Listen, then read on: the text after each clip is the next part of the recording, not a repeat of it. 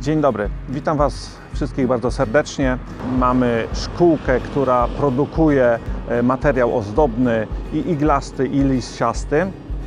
A chciałbym Wam dzisiaj przedstawić, jak się powinno e, pielęgnować, przycinać wierzby e, różnego gatunku. Stoję w tej chwili przy wierzbie Hakuro Nishiki. Zastosowałbym dwie metody cięcia. Jedno cięcie to jest krótkie. Oczywiście każdy ma swoje różne metody e, i ja też zaprezentuję naszą metodę cięcia. To cięcie, które ja zastosuję, to będzie cięcie, e, które wydłuża towar czy, czy materiał roślinny w czasie wzrastania. E, Długość wierzba, wierzba generalnie Hakuro Nishiki nie jest wierzbą bardzo długowieczną, tak jak świerk czy, czy, czy innego rodzaju e, materiał ozdobny.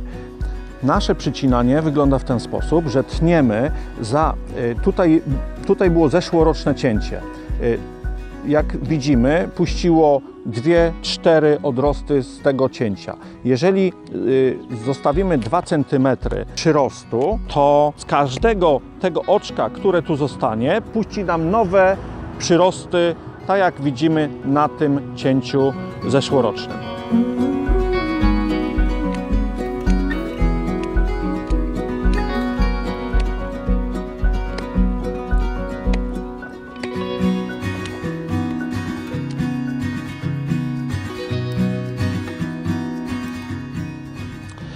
Ta wierzba, którą tutaj widzieliście, y, zanim zaczęliśmy ją obcinać, ona miała koronę tej wielkości i była dwuletnią rośliną.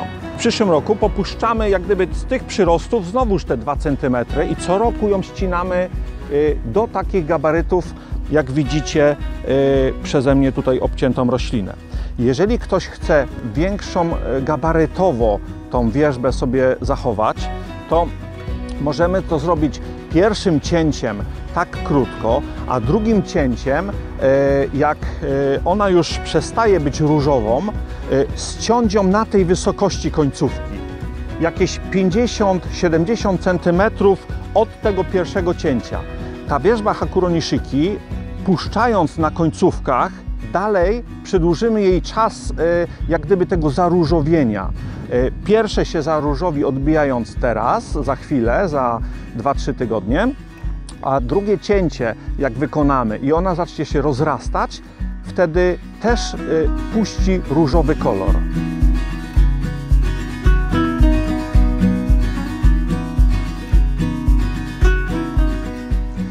Zawsze jest dużo pytań, kiedy przycinać wierzbę.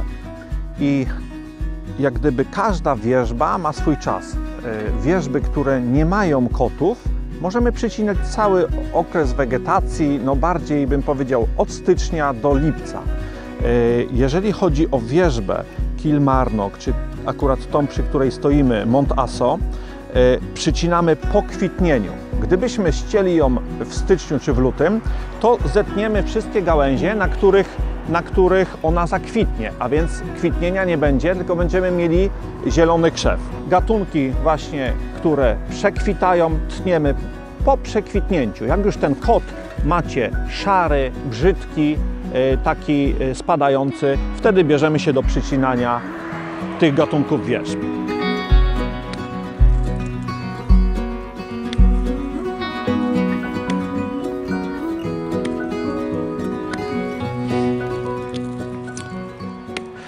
Wierzby, które kwitną, przycinamy tylko raz w sezonie. To cięcie jest ostatnim cięciem wykonanym na tej roślinie.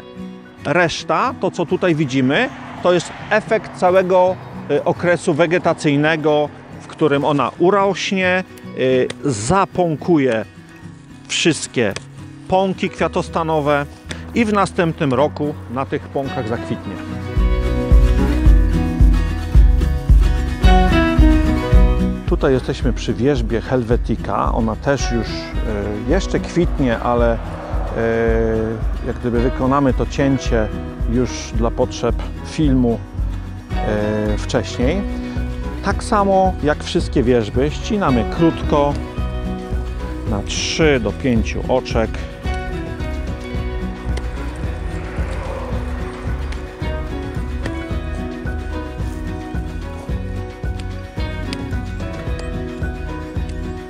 Tutaj na tej wierzbie chciałbym Wam pokazać i zwrócić uwagę na to, że y, miejsce szczepienia tej e, rośliny jest w tym miejscu, tutaj na samej górze. A więc wszystko to, co nam odbija z podkładki, to jest e, jak gdyby zwykła wierzba, która była użyta do, do y, zaszczepienia do pnia, do, do tej wysokości rośliny. I te wszystkie odrosty musimy bardzo y, blisko przyciąć. Y, to cięcie jest na tyle ważne, że jeśli zostawimy odrost, czy tam y, kawałek, kawałek gałązki, to ona się zacznie nam rozkrzewiać tak jak, tak jak góra, jak szlachetna roślina i w tym momencie zacznie robić nam ogromną narośl. To potem powoduje, że ta noga jest brzydka. Y, Jeśli są to małe odrosty, wystarczy je oberwać, a jeśli już jest gałązka, tak jak widzimy tu, to ją wycinamy króciuteńko.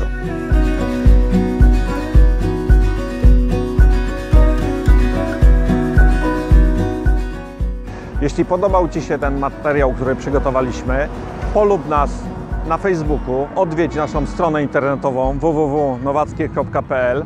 Jeśli masz jakieś pytania, e, to napisz maila. Postaramy się odpowiedzieć na wszystkie, które podeślecie na naszą stronę internetową czy skrzynkę pocztową.